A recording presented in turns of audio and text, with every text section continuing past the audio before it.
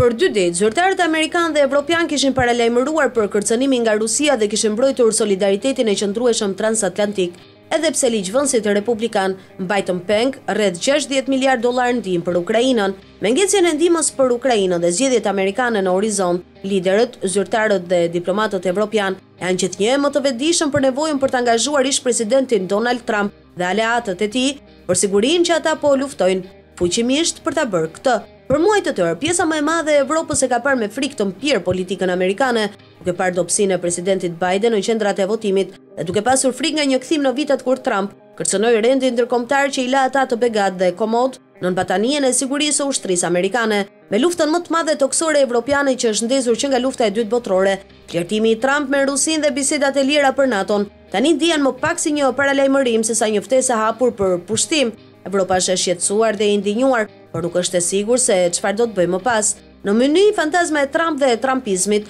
u shfaq mbi panelet për luftën në Ukrainë dhe politikën e Bashkimit Evropian dhe dominoi bisedat e prapaskenave si kurrë më parë. Amerikanët u përpoqën të lehtësonin frikën. Humori u bë edhe më i errët pas lajmit për vdekjen e liderit të opozitës ruse, Alexei Navalny në një burg siberian. Gruaja e tij, Yulia ishte e pranishme, si dhe shumë miq të tij. Zyrtarët evropianë në Mynih thanë se ata po i kushtonin vëmendje më të madhe se kurrë numrave të sondazheve, vetëm të sfidës mes Biden dhe Trump në shtetet e lëkundura, por gjithashtu, të analizonin të dhënat rreth rezultateve të mundshme të garave të Dhomës dhe Senatit, në përpjekje për të parashikuar prirjen e ardhshme të Kongresit. Demokratët që duan të mbështesin Ukrainën, u kërkuan kolegëve evropianë të bisedojnë me republikanët. Diplomatët e lartë të BE-së thonë privatisht se ambasadat e tyre po punojnë jashtë orarit për t'u përpjekur të kuptojnë se çfarë po ndodh në SHBA dhe çfarë lloj komentesh apo lëshimesh mund të rezonojnë me bazën republikane. Në një udhëtim të fundit në Shtetet e Bashkuara, Sekretari i Përgjithshëm i NATO-s Jens Stoltenberg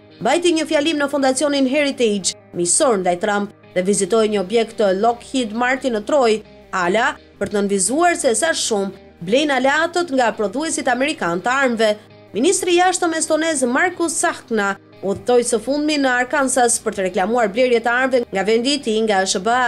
Ai e pa udhëtimin si një mënyrë për të shpjeguar se çfarë po bën Evropa për të mbrojtur veten dhe për të mbështetur angazhimin e vazhdueshëm të SHBA-së në NATO. Në bisedat private, zyrtarët dhe diplomatët evropianë shpesh ngrenë idenë për t'u premtuar amerikanëve veprime më të ashpra ndaj Kinës në këmbim të mbështetjes së Ukrainës dhe NATO-s, edhe pse pak ndërmarrin hapa konkretë. Në një tubim të fushatës këtë muaj, Trump tha se do ta inkurajojë Rusinë të bëjë çfarë të duan për anëtarët e NATO-s që nuk shpenzojnë mjaftueshëm për mbrojtjen. Në ditët që pas komenteve të Trump, zyrtarët evropianë kanë diskutuar privatisht për ndërtimin e një komplementi të NATO-s në mbarë kontinentin, i cili do të funksiononte në harmoni me garancitë e sigurisë së SHBA-së, por gjithashtu mund të shërbente si një alternativë e besueshme nëse tërhiqen garancitë e SHBA-së. Tani për tani, ato biseda janë të lidhura në mosmarrëveshje të njohura, Franca dhe Gjermania mund të bien dakord se kush do të paguajë faturën. Evropa Lindore nuk i beson plotësisht vendosmërisë së Evropës Perëndimore kundër kërcënimeve ruse dhe nuk është e qartë se si ata do të ndërtonin një mburojë bërthamore mbi kontinent.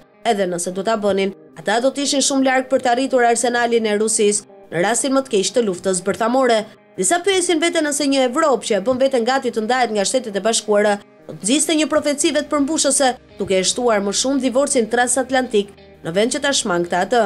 Disa po përqendrohen në mënyrën se si do të mbyllen angazhimet e SHBA-së përpara zgjedhjeve të nëntorit. Politikëbërësit e lartë amerikanë thonë se realisht nuk mund të bëjnë shumë për të frenuar vendimmarrjen e politikës së jashtme të administratave të ardhshme, Por disa nga strukturat që ata po diskutojnë, si për shembull një angazhim afatgjatë për ndihmën ushtarake për Ukrainën, do të kërkonin raporte të statusit dhe veprime të tjera që mund ta bëjnë më të vështirë politikisht që Trump të refuzojë plotësisht premtimet e SHBA-së dhe ka gjithashtu një ndjenjë se edhe nëse Biden mbizotëron, gjërat do të ndryshojnë. Hannah Neumann, një anëtare gjermane e Parlamentit Europian, tha se nuk kishte dyshim se turma e Mynihut preferonte Bidenin, por shumica e kuptonin se ndryshimi në ndjenjat e SHBA-së Shkon më thellë nga Trump, e ndoshta do të qëndronte aty,